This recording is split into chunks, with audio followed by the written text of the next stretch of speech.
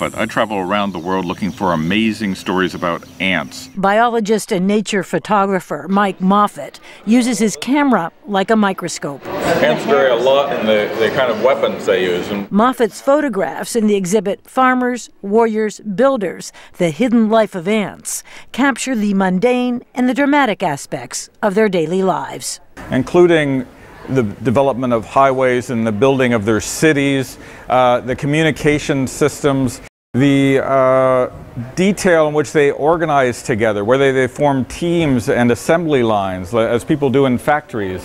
Much like humans, ants are social creatures.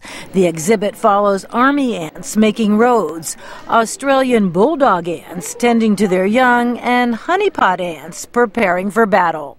They actually have a ritual in which they circle each other, standing high on their legs and rotating in a circle around each other, and the colony with the shortest ants gets frightened and runs away. Although the photograph tells another story. One day I'm out there watching these ants and I see that one short ant climbs up on a pebble in this picture and freaks out the taller ant.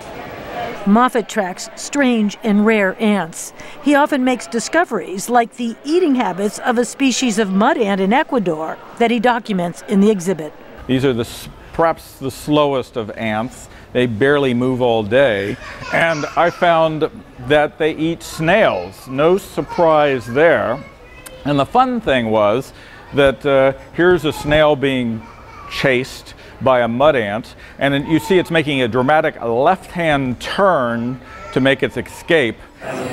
The Smithsonian exhibit includes an aluminum cast of an underground ant city and a living colony of harvester ants. But it's the photographs that captivate 11 year old Kashmir Johnson and her mother Marjorie from Boulder, Colorado. They're hairy, and when you look at them up close, their eyes are freaky. Their legs seem a lot longer than I thought because when you normally see an ant, they're so tiny, you just don't see these delicate intricacies. Mark Moffett hopes museum goers like the Johnson family will gain a new understanding of the importance of ants to the ecology of our planet. Getting those private lives up here at the Smithsonian where everyone can see them and forget that they're small, but understand that they have their own, in a sense, their own passions and dynamics that lead to all kinds of things that we would recognize in our own lives.